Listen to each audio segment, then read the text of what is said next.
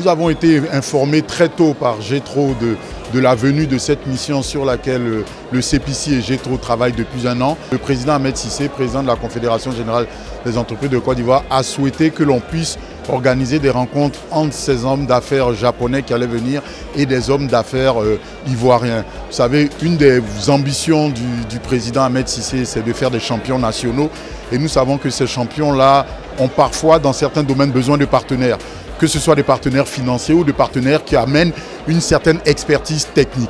Nous avons là donc l'opportunité de recevoir 26 très grandes entreprises, que des contacts puissent se nouer et que derrière des contacts, des partenariats d'affaires puissent se, se, nouer. Aussi bien pour, j'allais dire, exporter ou importer des produits fabriqués par le Japon et à terme implanter des usines ici dans les différents secteurs d'activité.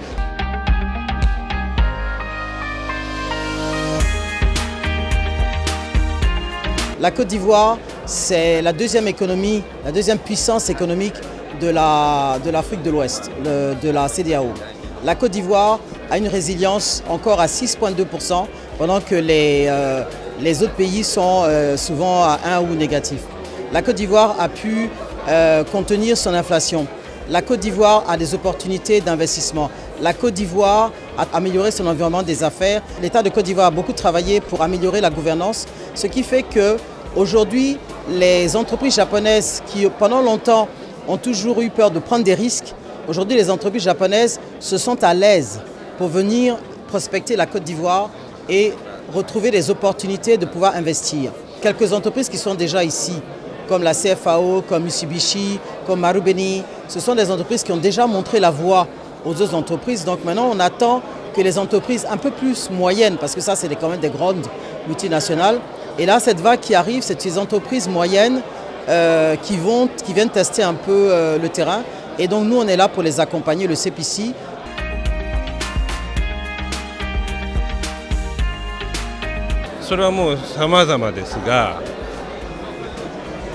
Plusieurs secteurs euh, intéressent fortement les entreprises japonaises. La démarche spécifique des entreprises japonaises, euh, elle, est, elle, est, caractéristique en, cela que euh, lorsqu'une entreprise japonaise s'implante, elle ne fait pas seulement que euh, fabriquer et vendre des produits, elle a aussi un impact, une contribution sur euh, l'ensemble de la société, de la communauté euh, autour de laquelle elle est implantée.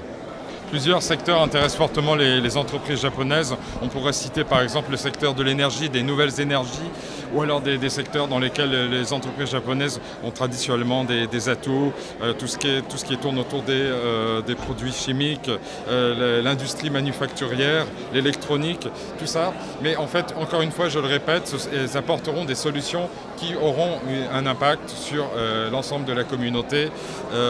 Et donc, en termes de mobilité et aussi dans les, les secteurs de, l'agriculture, euh, agri-food.